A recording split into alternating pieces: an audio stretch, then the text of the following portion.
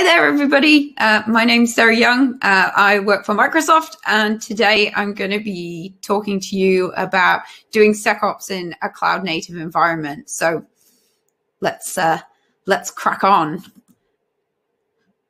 Is first, I'll introduce myself. Uh, if you haven't met me before, if you don't know me, uh, I am an Azure security architect. I live in Melbourne, which, if you're not familiar with where that is in Australia, it's actually the colder and wetter bit.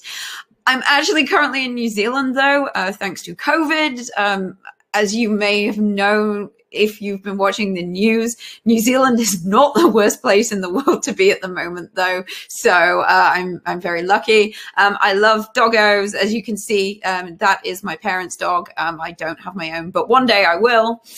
Uh, before I worked in security um, and cloud native things, I used to be a network and a VoIP engineer. Uh, but now, um, as you might have gathered from my job title, I do all kinds of cloud security stuff, including security operations. Um, and that's my focus at the moment. Um, I'm going to apologize in advance for the background. This is my friend's spare room who has very kindly been putting me up for the last four months. So um, if it looks like I'm a little bit in a prison, I promise I'm not but um, yeah, um, and thank you, Erica, for putting me up. Um, if you've seen any of my presentations before, I am a prolific user of GIFs or GIFs and memes in my presentations. Hopefully, they will make sense. If they don't, I'll try and explain them. Um, one more note as I go through this presentation, I will uh, we, feel free to put um, any questions you have in the chat window. Um, I'll be hanging around to answer them. Afterwards. Or, of course, you can always get me on the Twitters. Uh, my handle is on the slides there as well. So, whatever works for you. So, what am I actually going to talk about today? Uh, today, I'm going to talk about why security operations are important. I'm going to do a quick recap of how we did security operations on premise. Uh, I'm going to talk about the what, the who, and the how and the when of security operations. And then finally, we're going to talk use cases because use cases are probably one of the most important things in security operations. They are so, so, so important. Um, on the right here, this is um, a dog um, in Melbourne. Um, he has his own YouTube channel called Tofu Chan. I think he's adorable. I couldn't think of anything to put here, but on one of his videos, he was hacking. So I thought that would go well with the security thing. As you can see, some of these some of these uh, gifs and memes I add can sometimes be a little bit tenuous, the links, but go with it. So, firstly, let's talk a little bit about why security operations are important. Now, hopefully, any of you who are watching this, you you must be at least somewhat interested in security, and you you you know you should probably have a good idea of why security operations are important. But you know, doing this this sort of stuff properly costs money and it takes time. And how do you justify that to your management or people who pay the bills? I always like to start with one of these, uh, one one of these me- memes. Um, information security, as you can see, what my parents think I do. They think I'm a hacker. They they really do. I am not. Uh, what I actually do um, which of course is uh, uh, and and what society thinks I do, which is of course the guy with the hoodie there. Uh, what IT managers think I do, which is burn money, and that's true. Security has always been traditionally very hard to justify because if security is working well, you don't see any sort of visible, tangible benefits in quite the same way. It just means that you haven't been hacked. And by the time you've been hacked, it's far too late. Uh, but I always love throwing in that one one of these in. There wasn't a security operations specific one, and I do digress a little bit, but I love to have one of these in. But you know, moving on to and coming back to that other part about your boss thinking that you just burn money. Um, why should you spend money and invest your time and effort in security operations? Um, well, I just pulled some of these. I, I just put in uh, Kubernetes hacks. And, you know, look, you can see there's been plenty of things over the years and, and there's more and more coming. And in the wider security environment, there are heaps and stacks of hacks and breaches that are happening all the time. Uh, you, you may remember the Kubernetes first major security hole discovered. Um, that was actually done by researchers, and there was no evidence that it was exploited in the wild, but it was a big security hole. Of course, we most of us will have known and loved the Tesla uh, story there, and of course, Docker has had breaches, and we know that there are lots of images as well that can be compromised and have crypto miners in. Basically, security operations is a problem everywhere and it's not going away. So it is important that we care about it. Just to give you a little bit more of an idea of, of like the threat environment, like, and this comes from Microsoft's security threat intel. You know, attack services aren't very expensive. They're actually really cheap. Um, the first one I want to talk about here is zero days. Now, a zero day, as I'm sure you know, is a kind of attack that doesn't have any patch or mitigation. Um, and zero days are the things that often businesses are really, really worried about because a zero day has no mitigation, has no patch. You know, how are you going to protect yourself against a zero day. The re- but if we have a look at that compared to some of the other attacks out there, just to put in proportion, uh, developing a zero day can be quite expensive. Whereas if we look at things like exploit kits, um, these prices are in US dollars by the way. Um, if we look at exploit kits, you know, that's costing um, uh, $1,400 a month. Uh, ransomware, and this is a funny one, so bear with me. Um, ransomware, you can now go on the dark web and you can ask you can pay someone to do ransomware on your behalf, and then they will take 30% of the profit. So it's almost like ransomware as a service. It's very strange, but this does exist on the dark web. Or you could pay someone $66 and just get the ransomware software and do it yourself. Um, to get compromised devices, um, it's under a dollar, maybe a little bit more for a mobile device. Uh, compromised accounts, we know there are compromised account dumps all over the internet. Uh, you know, it, it's only costing $150 for 400 million accounts. I mean, it's crazy.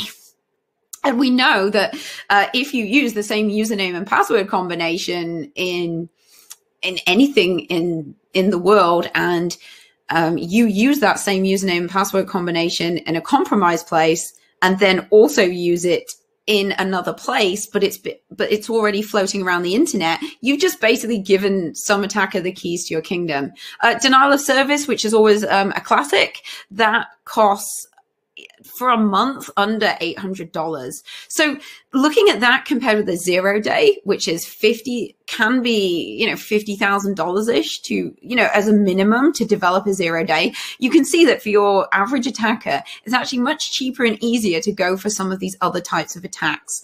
So whilst I'm not saying you shouldn't care about zero days, just remember to put it into uh, put it into proportion as to how likely it is you'll be hit with a zero day over some of these other much more common attacks. I also wanted to recap on some of the typical security operations issues that we've seen. And we saw this in on premise environments, and we're seeing this going into cloud native environments as well.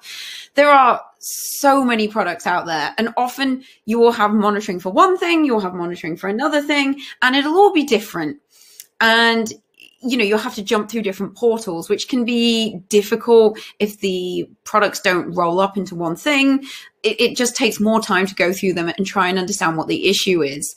Uh, there's never enough SOC analysts. If you're a SOC analyst, I'm pretty sure you've got a job for life because it is really, really difficult to find enough SOC analysts alongside that, environments are only getting more and more and more complex. So it is you know, it's making all the different signals and actually monitoring all these environments really hard. Um, and in, with a cloud native spin on this, if we look at Kubernetes and containerized environments, uh, security operations are still understanding how those those environments work often. So before, until you understand how something works, how can you monitor it successfully? Uh, most SOCs and are still also depending on really manual processes and they just have too many alerts. I don't think I have to explain this GIF. It's uh, fairly, it's fairly obvious, but uh, the research shows that something like 40% of alerts that come into security operations never actually get looked at which is crazy. Now, of course, with security operations, there's always the possibility of false positives. That's, that's always there. But if you wouldn't even know if an alert was a false positive if you never even got around to looking at it. So, you know, these, these are the problems that everybody faces. So this phrase, single pane of glass, is used a lot in security operations. Uh, it's used a lot by vendors. And they will say, you know, I really need to have a single pane of glass to look at everything that's going on in my environment. And that's actually really difficult. It because you can definitely reduce the number of portals you look at, but it is genuinely difficult for any relatively large, complex organization to have a single pane of glass. And I think that's really important uh, to remember that I, I personally don't feel you need to get to a single pane of glass, but perhaps maybe just one or two panes and and you'd probably you'd be doing much, much better than most organizations so i always want to yeah um, be cautious around this particular phrase. Um, you know, shatter that pane of glass. Have at least a few of them, and you'll probably be okay. Silos are not good, and we see this in lots of different organizations, all all around um, you know, all over the world, we see silos in IT generally. But looking at it from a security operations lens, um, you know, silos are really, really not good. Now, this uh, particular uh, the GIF I imported here isn't working, but I'll describe it to you. It was these two American Olympic athletes basically banging into each other uh, from the back because they weren't looking or talking to each other. Uh, this is what came up when I put silo into Giphy. So work with me. That's what I'm going with. But there is a reason that silos are bad. And silos are bad because if you think of it from the perspective of an attacker, if you've got your little identity, uh, you've got your little identity silo, you've got email, you have applications, say you might have cloud native, um, whatever, you know, the, your attacker will not just sit in one of your different silos. You know, they're going to go across the whole system. They're going to go across your whole environment looking for things of value for them. So it's really important that when you do security operations, you don't piece it up. Like security operations need to cover everything. It's really, really important. So as you can see here, I have my dragon and my defender there on his horse. And, you know, this dragon has just gone across everything because he's just looking for things of value that he can use as an attacker. Um, and uh, if you just have different attackers, uh, different defenders, I mean, for each silo, you know, it's not going to be easy to catch up with this guy or girl or, or them So, how do we do security operations on premise? This is important to understand because it just helps us understand how we should be doing it going forward. Uh, so, I think it's important to recap this. Now, I'm sure most of you um, uh, we'll see on the day um, of the con how many people use the castle analogy because it comes up so frequently when we do security presentations. But the traditional security approach, of course, was to have a big uh, uh, using the castle analogy, we would have big perimeter walls. We'd have a moat and it would be really difficult to breach that perimeter. But if you did breach the perimeter, then you'd be able to get in and just attack all the assets. Now, um, that does, uh, that, that approach has been around for a while. Of course, now we're moving to zero trust, which is great. But uh, from security operations, we also have to remember to modernize our approach here as well. Uh, there's another aspect to this, um, and I have a sticker which were we doing this in person, I would be happy, happily giving out to all of you um, that says collection is not detection. Because in traditional security operations, we would just collect every single log we possibly could. Um, these amazing stickers were uh, made by Pepper Raccoon. She's an amazing New Zealand based artist. If anyone needs sticker art being to be done, by the way. I can thoroughly recommend her. She's done quite a few for me.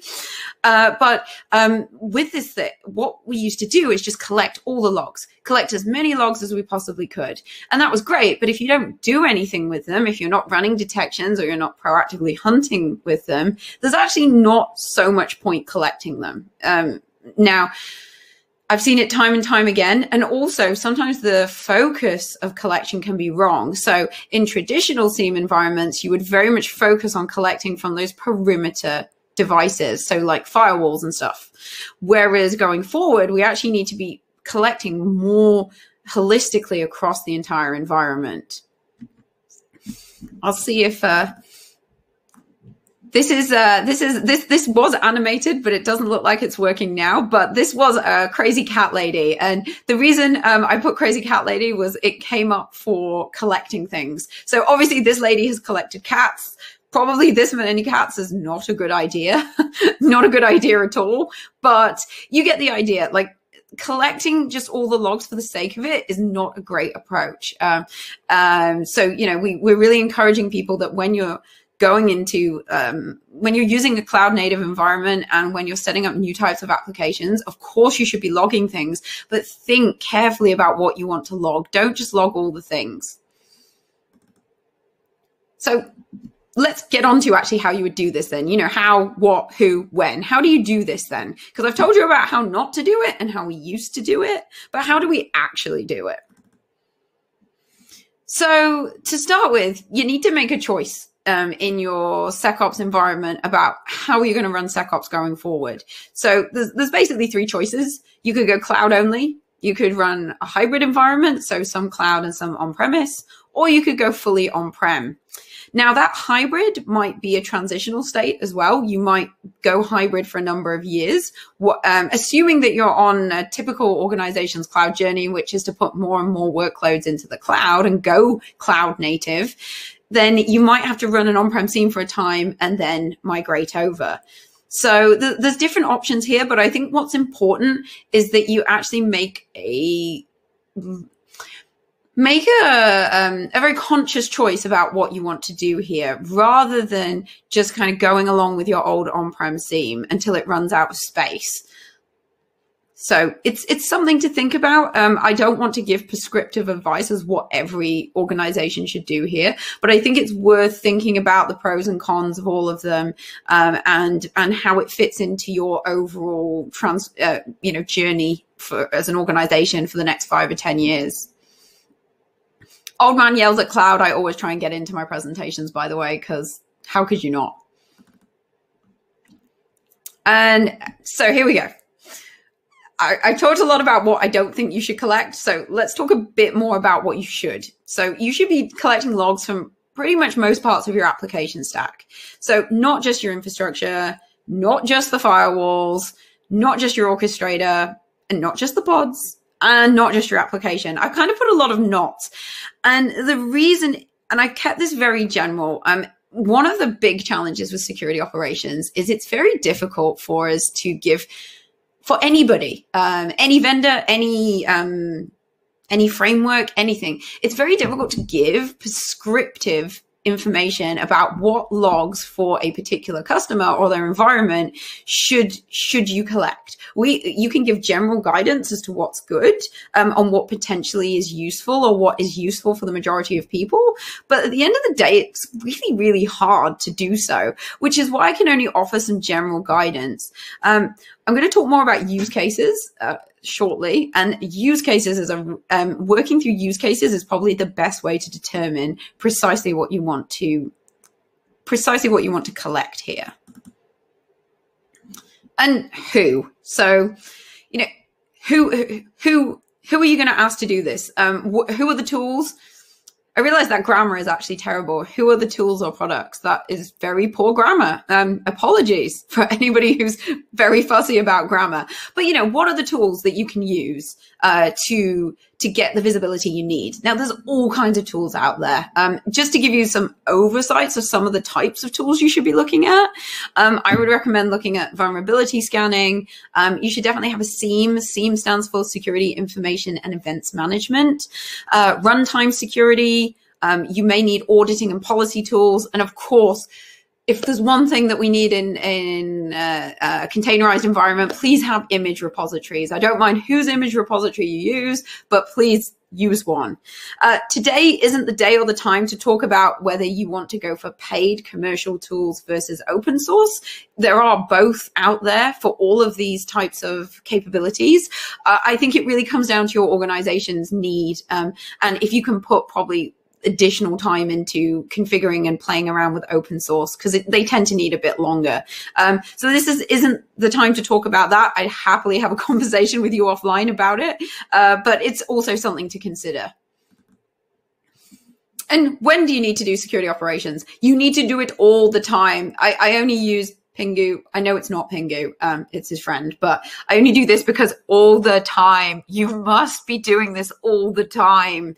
Um, you, you need to iterate security operations throughout your entire environment. You know, you should be doing it, um, image creation to the storage, to deployment, to the runtime, to the teardown, that entire life cycle. You should have some visibility of so you can actually, if someone is manipulating something, you would know because you, if you can't see it, you will not know what's happening. Um, and so, you know, you've got to, whenever you're designing something or creating a new environment or standing up something new, you know, do ask the question or put it to your security operations team if it's not you specifically. You know, how are we going to monitor this? How are we going to integrate it? Because, you know, they might not necessarily come to you and, and just say, Hey, we need to integrate this. Please, please go to them and ask them, you know, how, we, how are you going to do this? How are we going to get visibility of this from a security perspective? And then the last thing I wanted to talk about, because I know I'm nearly up for time, is I want to talk about use cases. Now, this is one of those easy ones, but also not easy. And I only have one slide with identical bullet points, which is understand your use cases. I also really like using clickbaity titles because it amuses me. So apologies if you hate them. But one of the best things you can do in security operations is understand your use cases. And use cases will vary from organization to organization. But for example, if you said it's really important for us that if our CEO, uh, if our CEO logs in from any country that's not the US, you know, we need to raise that as a high priority incident immediately because our CEO never goes outside of the US, for example. You know, that's a use case specifically for an organization. Um, and then you can say, okay, this is my use case. What logs do I need to be able to have visibility if that scenario occurs? Uh, and then you can say, okay, so we need to collect X and Y in order to enable that and then you can work it through. And it means also that if you're collecting logs, you have justification for why you're collecting them. This is also the time, but again, we don't have time to go into this, um, that we can mention the MITRE ATT&CK framework and the different tactics. Uh, there are many different tactics in the MITRE ATT&CK framework. And if you're an organization that's looking to specifically stop some of those tactics, uh, you can help use that framework to map as well. But if you know your use cases, then you can justify why you're doing what you're doing in security operations. So do have a think about it. Have a think about, you know, the, and different use cases for different business units as well. It won't just be you. Like, what do you need to know? What's important for you from a security perspective? And then you can work back from there and say, okay, how do I actually get there? What logs do I need, and what kind of detections would I need to run uh, to to know if that was happening or if that wasn't happening? So, again, I could talk for hours and hours on use cases. I just wanted to kind of surface it here to get you thinking. Um, and yeah, I think I'm pretty much up for time. Um, so just to conclude, you know, I've got to put up there that this is fine because there's no there's, there's, no one meme that describes security operations than this. Um, but you don't want to be in this position. Don't get to this position before you start thinking about or reassessing how well your security operations are doing. Like think about it before then, because by the time this has happened, you know it's going to be a lot harder. You've probably got some kind of breach or compromise to clear up and just just try and do it right from the word go. Um, if you're a developer watching this and you think well you know security isn't my focus that's cool. Like go and talk to your security operations team or somebody in who's got more responsibility for security and and brainstorm with them. It might more be they need to deal with it but make sure they're aware that you've got a system that you think needs to have some monitoring or visibility over it now, and with that, I've talked, um, I'm pretty sure I'm up for time. So I wanted to say thank you very much for listening to me today. Uh, uh, I really appreciate your attention. I hope you found that useful and it got you thinking. Security operations is a massive topic and there's only so much I can go through in, in 25, 30 minutes, but um, feel free to ask any more questions in the chat window. I'll try and answer them, or you can hit me up on Twitter. Um, and thank you very much. I hope you enjoy the rest of the conference and the rest of KubeCon Virtual. And uh, stay safe and have a great rest of your day. Cool. Hello, everyone. As you can see, I, I, was going to actually wear the same outfit, but I didn't. Um, so apologies. um, so um, I just realized as well. I was looking through the questions and I changed the sort from uh, from newest to priority. So sorry. There's a couple that I've just seen. Um, uh, so I'm going to go through these ones live. Um, and if anyone, and I'll keep going until I run out of time. Hopefully, I'll get through them all. Um, so, um, social engineering security. Um, the question was, what was my opinion on social engineering security and should we do it?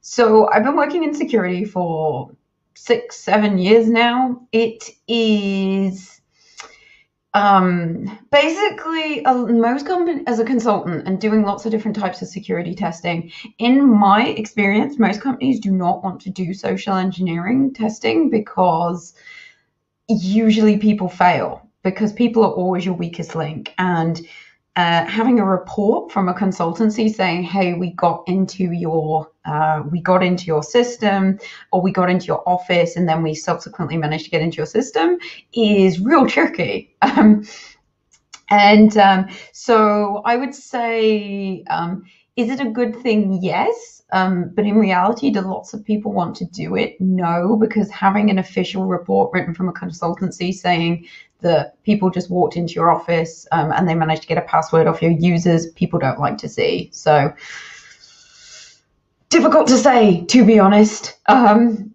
yeah, probably depends if you're more of a security hardcore person or you're a uh, or, or you're a management person, I'd say.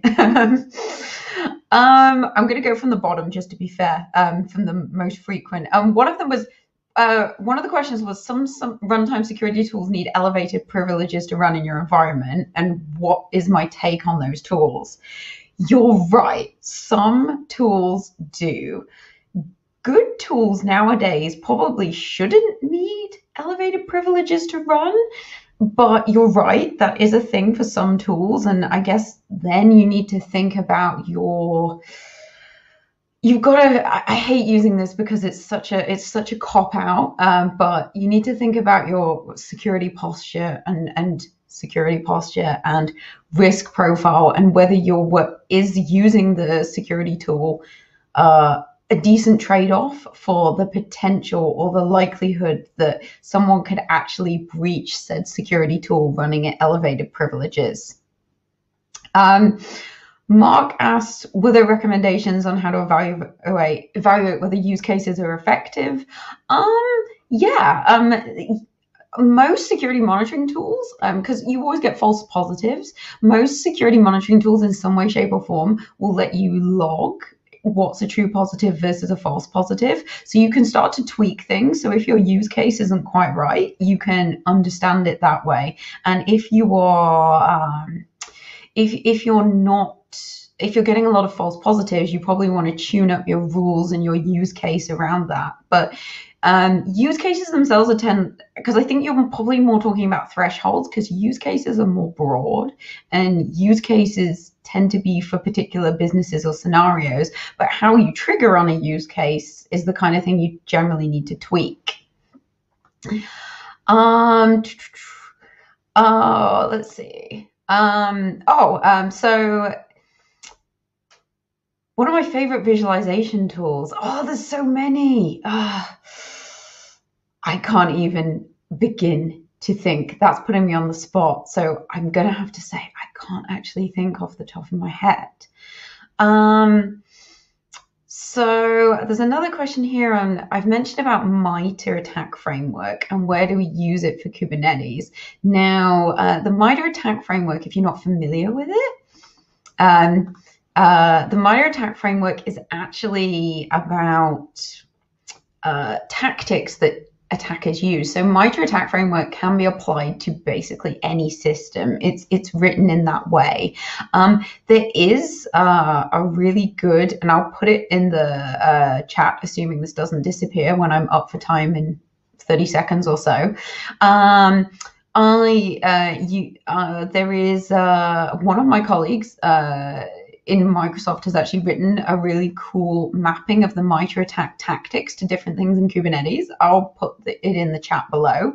Um, but definitely you can use MITRE ATT&CK for everything. Um, so just have a look online. There's probably someone who's already done it. Um, but you can certainly, um, all the different tactics, so like uh, privilege escalation, etc.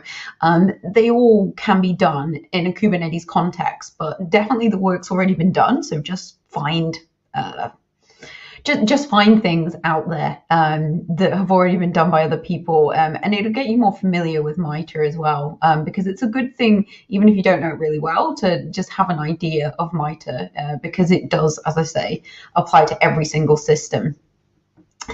And yeah. Um, I'm gonna see. Um, I, like I said, if the chat doesn't disappear, I'll, I'll, work through the rest of the questions. I think I'm gonna be up for time. So uh, yeah, thanks everyone for joining. Um, and I hope you have a great Cloud Native Security Day. Um, it's pretty late here, it's coming up for midnight. So hopefully it's not as late for the rest of you. And uh, yeah, have a great rest of your conference.